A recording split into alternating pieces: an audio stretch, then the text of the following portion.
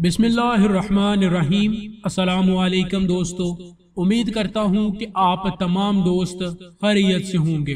दोस्तों, क्या इस वक्त कवेत जा सकते हैं? अगर आप कवेत जा सकते हैं वर्क वीज़ा लेके तो आपके कितने पैसे लगेंगे? कवेत का जो वर्क परमिट है, वो आपको कितने पैसों में मिलेगा? तो वीडियो को एंड तक देखें। चैनल टीच वीज़ा को सब्सक्राइब नहीं किया तो प्लीज़ चैनल टीच वीज़ा को सब्सक्राइब ज़रूर करें। और अगर आपका कोई भी सवाल है, किसी भी कंट्री के रिलेटेड आप वीडियो चाहते हैं तो वो भी आप नीचे कमेंट बॉक्स में पूछ सकते हैं। जी तो दोस्तों, पहले नंबर पर तो कुवैत के जो वर्क वीजे हैं, वो ओपन नहीं हैं। आप अप्लाई नहीं कर सकते। दूसरी बात, अगर कुवैत का वर्क परमिट आपको मिलता है तो वो ऑलमोस्ट मिनिमम जो पाकिस्तानी प्राइस है, वो आपको 40 लाख से स्टार्ट होगा। 40 लाख रुपया आपका खर्चा आएगा।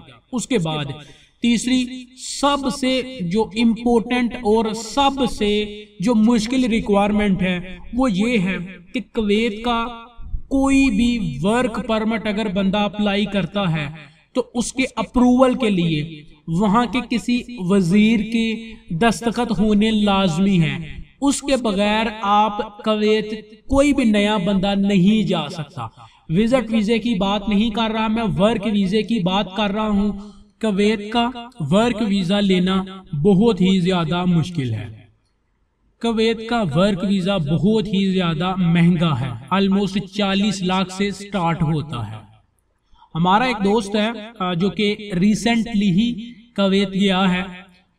उससे मैंने डिस्कस की, वो कह रहा था कि पाकिस्तान से लेकर कवेत पहुँचने तक मेरा जो खर्चा आया है, वो 45 लाख रुपया है 45 लाख रुपया आ चुका है।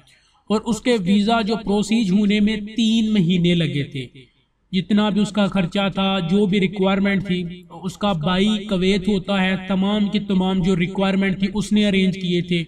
और वहाँ पे जो वज़ीर था जिसने दस्तखत किए थे, उसने दस्तखत करने के 20 लाख रुपए लिए थे। आप अंदाज़ा लगा सकते हैं 20 लाख रुपया सिर्फ़ दस्तखत करने के, पेपर अप्रूव करने के 20 लाख रुपया लिए थे।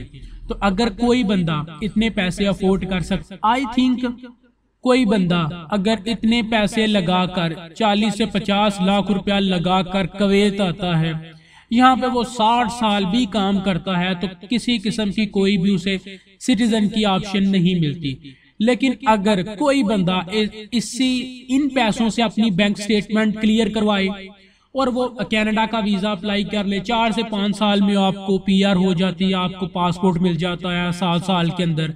या आप ऑस्ट्रेलिया चले जाएँ, आठ साल में आपको पासपोर्ट मिल जाता है। या फिर आप 20 लाख रुपए में मिनिमम 20 लाख रुपए में आप किसी यूरोपियन कंट्री में जाकर सेटल हो सकते हैं।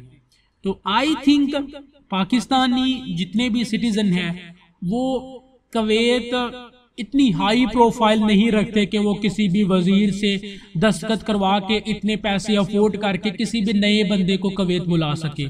तो मैं तो एक ही आ, आप तमाम दोस्तों से रिक्वेस्ट करूँगा कि अगर आप कवेत जाने में इंटरेस्टेड हैं इस वक्त तो आपके पास इतने पैसे होंगे? तब ही आप इंटरेस्टेड हैं। तो कवेत और कनाडा का आप कंपैरिजन करें तो आई थिंक कनाडा काफ़ी ज़्यादा बेहतर है। एक तो सिटीजनशिप मिल जाती है फ्यूचर बहुत ही ज़्यादा सिक्योर है पासपोर्ट मिल जाता है, और दूसरा ये है कि वहाँ पर काम जो बिज़नेस है, वो आप कवेत के कंपैरिजन में कम कमाएँगे। लेकिन ये है कि वहाँ पर आपको जो लाइफ टाइम का वीज़ा मिल जाता है वो आपको बहुत ही ज़्यादा बेनिफिट देता है। तो आई थिंक मुझे कोई बंदा भी पूछे कि कवेत और ऑस्ट्रेलिया और कनाडा की कंपैरिजन में तो मैं पहले नंबर पर कनाडा, दूसरे नंबर पर ऑस्ट्रेलिया और तीसरे नंबर पर कवेत को रखूँगा। हाँ ये बात सबसे अलग है कि कवेत के अंदर बहुत ही ज़्यादा पैसा है, मैं भी इस बात को मानता हूँ। लेकिन सिटीजनशिप आई थिंक सिटीजनशिप पहले नंबर पर होनी चाहिए। फ्यूचर आपका पहले नंबर पर होना चाहिए। हम मेरे कुछ रिश्तेदार हैं जो कि कवेत के अंदर जिनको 30 से 40 साल हो चुके हैं काम करते हुए। लेकिन अभी तक भी उनका किसी किस्म का, क्योंकि कुवैत के अंदर सिटीजनशिप का तो कॉन्सेप्ट ही नहीं है। तो आप क्या करेंगे? आप 60 साल 80 साल लगा लेंगे। वैसे भी अब आपकी उम्र 40 साल से ज़्यादा है तो आपको एक्स्ट्रा टैक्स देना होगा। तो कवैत का वीज़ा बहुत ही ज़्यादा महँगा है, बहुत ही ज़्यादा रिक्वायरमेंट मुश्किल है। तो at the end I think best Canada और बेस्ट ऑस्ट्रेलिया है। जी तो दोस्तों, ये थी आज की वीडियो अगर आपको वीडियो पसंद आई है तो आगे अपने दोस्तों के साथ शेयर ज़रूर कीजिए। और जिन दोस्तों ने अभी तक इस चैनल टीच वीज़ा को सब्सक्राइब नहीं किया सब्सक्राइब करें और टीच वीज़ा पंजाबी चैनल को भी विज़िट कर ले। मिलती है इंशाल्लाह नेक्स्ट वीडियो में। अल्लाह हाफिज।